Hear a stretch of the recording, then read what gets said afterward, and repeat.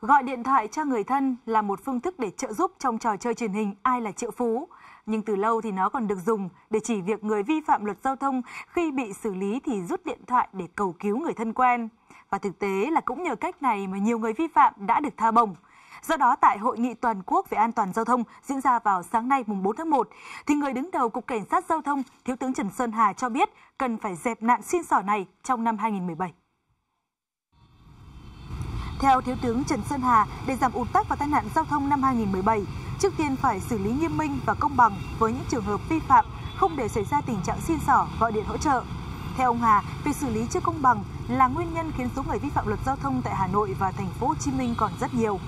Đồng tình với ý kiến này, Phó Thủ tướng Trương Hòa Bình cũng cho rằng để làm được điều đó, người thi hành công vụ cũng cần nghiêm túc thực hiện nhiệm vụ, không du di chùn tay trong xử phạt hoặc là có sự thỏa thuận chia đôi giữa người vi phạm và lực lượng xử phạt.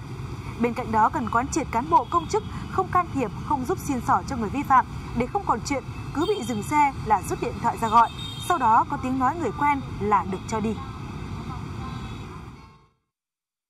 À, còn nhớ hồi cuối năm ngoái, chính văn phòng Ban an toàn giao thông tỉnh ờ, Lào Cai đã đề xuất xóa biển xanh và biển đỏ ờ, trong cấp đăng ký xe bởi nhiều xe cậy thế biển xanh mà ngang nhiên vi phạm và không bị xử lý. Điều này cho thấy một thực trạng rằng cái việc xử lý giao thông đang không được an toàn, à, không được công bằng cho lắm và việc cứ thân quen là được tha hoặc là xử nhẹ cũng là một biểu hiện tương tự. Và nếu mà không có người thân quen thì người vi phạm còn có nhiều chiêu trò có một không hai khác để tránh bị nộp phạt.